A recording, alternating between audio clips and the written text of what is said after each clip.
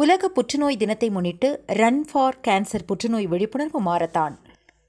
Uptown கன்ஃபிடிட்டி சார்பில் உலக புற்றுநோய் தினத்தை முன்னிட்டு ரன் ஃபார் கேன்சர் என்ற புற்றுநோய் விழிப்புணர்வு மாரத்தான் போட்டி இன்று காலை நடைபெற்றது.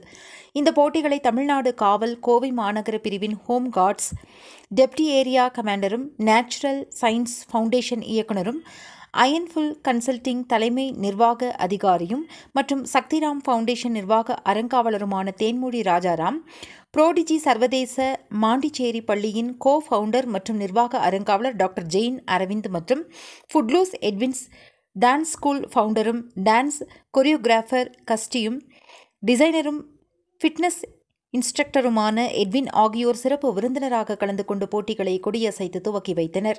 இதில் ஒரு கிலோமீட்டர் ஐந்து கிலோமீட்டர் மற்றும் பத்து கிலோமீட்டர் என்ற பிரிவுகளில் போட்டிகள் நடைபெற்றன.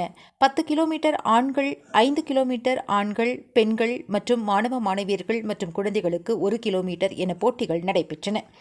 இதற்கான பிரிவில் குழந்தைகளுடன் பெற்றோர்களும் கலந்து கொண்டனர்.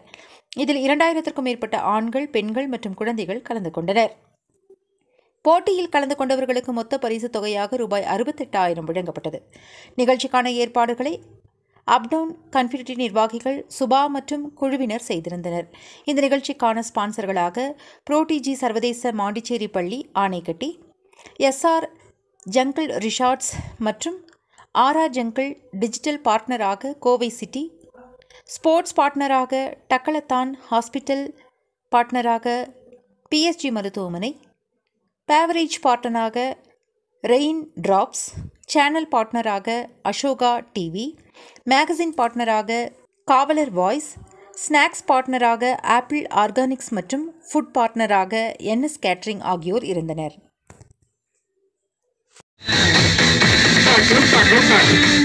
மேல காண்டாலாம்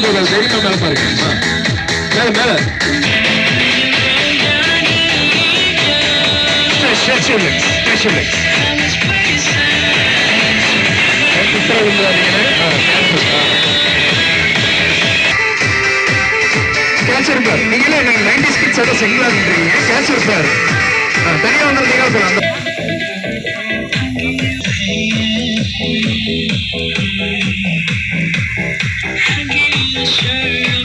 சந்தோஷமாக இருக்குது ஒரு கேன்சர் பற்றின அவேர்னஸ் இந்த அளவுக்கு கொடுக்கறதுக்கு I like congratulate Uptown and Prodigy ma'am இருக்காங்க.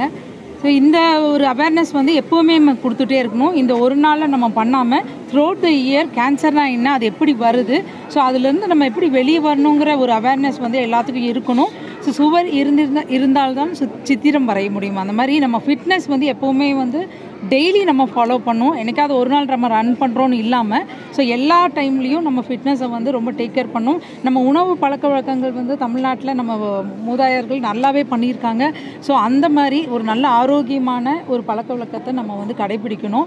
ஸோ கேன்சர் அவேர்னஸ் வந்து ரொம்ப இம்பார்ட்டன்ட் எல்லாத்துக்கும். அது எப்படி வருதுங்கிறது இன்னும் டீட்டெயிலாக எல்லாரும் தெரிஞ்சுக்கிட்டு ஸோ அதுக்கான வழிமுறைகளை நம்ம ஃபாலோ பண்ணால் இந்த கேன்சர் இல்லாத ஒரு சமுதாயத்தை நம்மளால் உருவாக்க முடியும்.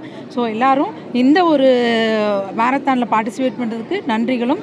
I specially thank like Uptown team and Prodigy thank you இளைஞன் சந்திக்கக்கூடிய பிரச்சனைகளை காதலை மையமாக கொண்டு சொல்லும் விதமாக லவஸ் படம் இருக்கும். நடிகர் மணிகண்டன் கோவையில் பேட்டி. குட் நைட் திரைப்பட புகழ் நடிகர் மணிகண்டன் நடித்து வெளிவரவுள்ள லவ்வர்ஸ் திரைப்படம் பிப்ரவரி ஒன்பதாம் தேதி ரிலீஸ் ஆகிறது. கோவையில் லவ்வர்ஸ் திரைப்பட நடிகர் மணிகண்டன் தயாரிப்பாளர் யுவராஜ் கணேசன் நடிகை கௌரி பிரியா துணை நடிகர் கண்ணன் ரவி ஆகியோர் கோவையில் செய்தியாளர்களுக்கு பேட்டியளித்தனர். நடிகர் மணிகண்டன் பேசுகையில் கல்லூரி காலம் முடிந்த பிறகு இளைஞன் சந்திக்கக்கூடிய பிரச்சனைகள் குறித்த கதை அம்சத்துடன் காதலை மையமாக கொண்டு இந்த படம் தயாராகி இருப்பதாகவும் திரைப்படம் என்ற ஒரு எண்ணம் மக்களுக்கு வராத மிக யதார்த்தமாக வாழ்க்கையை எடுத்து கூறும் விதத்தில் படம் உருவாகியுள்ளதாகவும் அப்போது அவர் தெரிவித்தார். இந்த படத்தின் கதாநாயகியாக அறிமுகமாகியுள்ள கௌரி மற்றும் தான் உட்பட அனைவரும் கதாபாத்திரத்துடன் ஒன்றி நடித்துள்ளதாகவும் கூறினார். மேலும் ஜெய்பீம் படத்திற்கு தனக்கு தேசிய விருது கிடைக்காததை எண்ணி வருத்தப்படவில்லை எனவும் ஒவ்வொரு கதாபாத்திரத்தை ஏற்று நடிக்கும் போதும் மிக விரும்பியே தான் நடிப்பதாகவும் சுட்டிக்காட்டினார். நடிகர் விஜய் அரசியல் கட்சி துவங்கியதற்கு வாழ்த்து தெரிவிப்பதாகவும் நடிகர்கள் அரசியலுக்கு வருவதை வரவேற்பதாகவும் கூறிய அவர் தனக்கு அரசியலுக்கு வரும் எண்ணம் இல்லை என்றும் கூறினார். தொடர்ந்து நடிகர் டெல்லி கணேஷ் குரலில் மிமிக்ரி செய்த மணிகண்டன் லவ்வர்ஸ் திரைப்படம் வெற்றி பெற வேண்டும் என கேட்டுக்கொண்டார். இதான் என்னோட ஃபர்ஸ்ட் ப்ரெஸ் மீட் இங்கே கோயம்புத்தூரில். அதுவே ரொம்ப ஸ்பெஷலாக இருக்குது ஏன்னா எல்லா ஃபஸ்ட்டும் ஸ்பெஷலுங்கிற மாதிரி.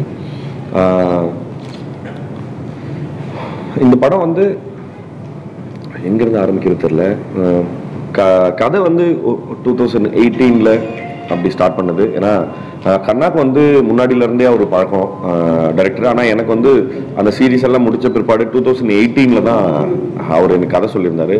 நான் அந்த சமயத்தில் ஒரு மேஜர் லீடா பண்ற உள்ள ஒரு ஒரு கதைக்கான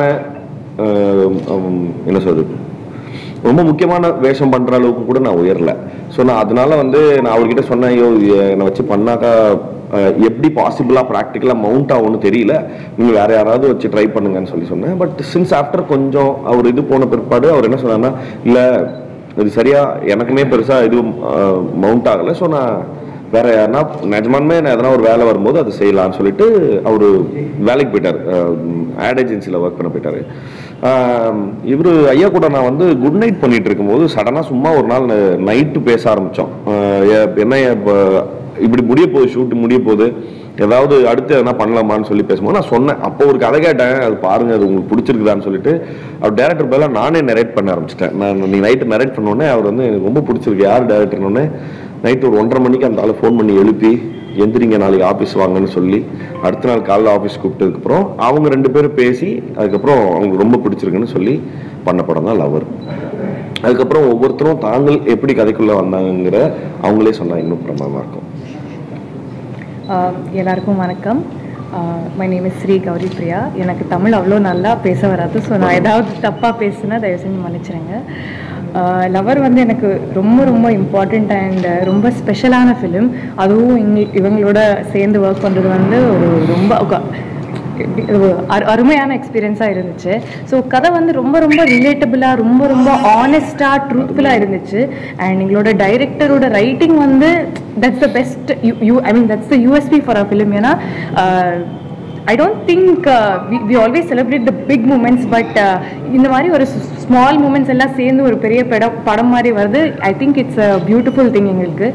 அண்ட் uh, எனக்கு ஸ்டார்டிங்கில் லாங்குவேஜ் ப்ராப்ளம் இருந்துச்சு. ஆனாலும் இவங்க எல்லாத்தோட ஹெல்ப் ஓட I think I've manage to do a good job out of இட்னு நான் நம்புகிறேன் ஸோ இங்கே வந்த மீடியா ஃப்ரெண்ட்ஸ் எல்லாருக்கும் ரொம்ப ரொம்ப தேங்க்ஸ் அண்ட் உங்கள் சப்போர்ட் அண்ட் உங்கள் பிளெஸிங்ஸ் எங்களுக்கு தேவை. ஸோ படம் ஃபெப்ரவரி நைன்த் ரிலீஸ் ஆக போகுது. கண்டிப்பாக பாருங்கள் தேங்க்ஸ்